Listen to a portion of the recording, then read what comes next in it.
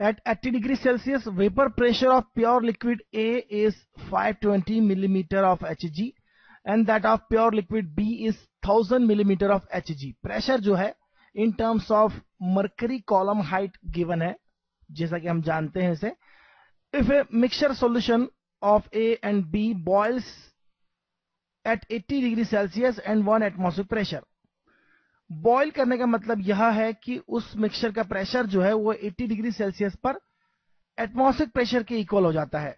The amount of A in the mixture is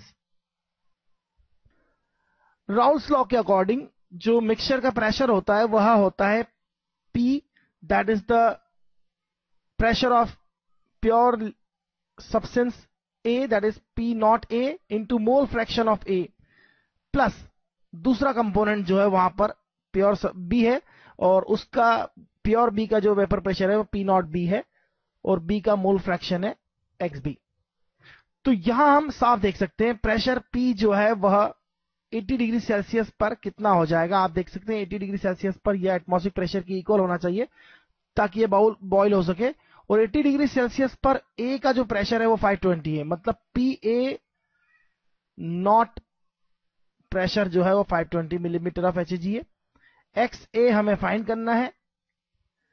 x B जो है x B को आप वन माइनस एक्स ए लिख सकते हैं। क्यों लिख सकते हैं? क्योंकि इस मिक्सचर में केवल दो ही सब्सटेंसेस है और दोनों के मोल फ्रैक्शन का सम जो है वन होना चाहिए।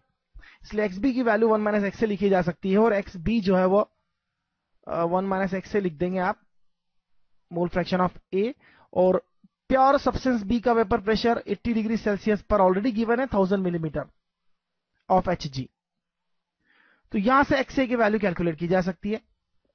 कैलकुलेट करने के लिए हम एक काम करते हैं, यह हो जाएगा थाउज़ेंड और यह लेफ़्ट में लेफ़्ट से राइट में आएँगे तो thousand minus seven six zero हो जाएगा। यह हो जाएगा माइनस थाउज़ेंड एक्स से जिसे हम लेफ़्ट में लिखेंगे प्लस थाउज़ेंड एक्स से और यह लेफ़्ट में जाएगा तो minus five two zero X A हो जाएगा।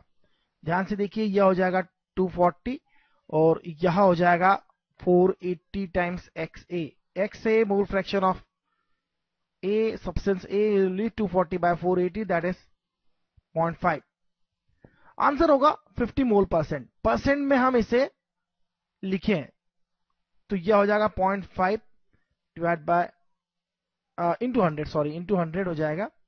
Divide by one into hundred percent तो 50 मोल परसेंट हो जाएगा. दैट आंसर आसान प्रॉब्लम है. ए आई ट्रिपल ई का प्रॉब्लम है ये. हम सारी ए आई ट्रिपल ई की प्रॉब्लम सॉल्व कर रहे हैं. सोल्यूशन वाले चैप्टर की.